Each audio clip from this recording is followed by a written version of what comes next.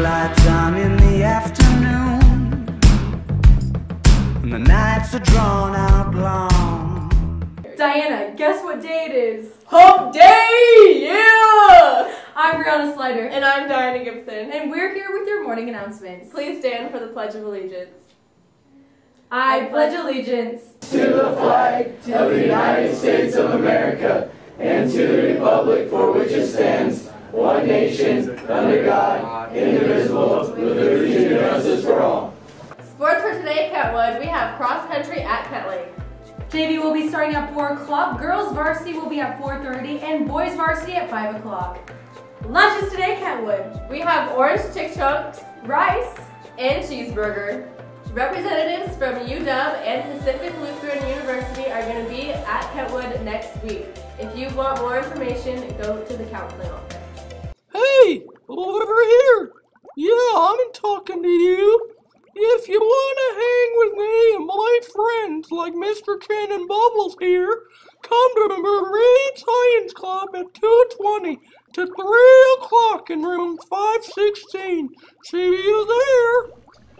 A representative from Corban University will be at Kentwood on September 20th. If you're interested, juniors and seniors, in seeing this presentation, you can sign up in the counseling office in the main building. Attention seniors, registration for the SAT has already begun. It ends on October 2nd. If you have any questions, go see Miss Harrington or Mr. Martin.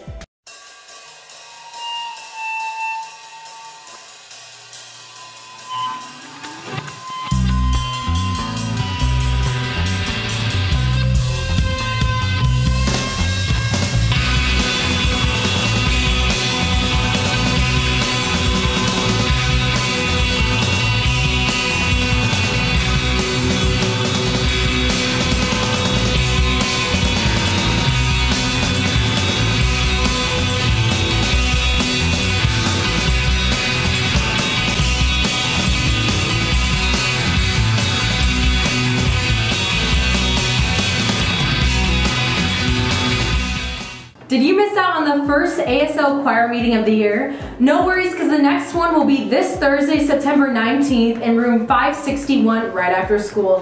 Be there to sign up for performance events. The first one of the year will be the homecoming football game.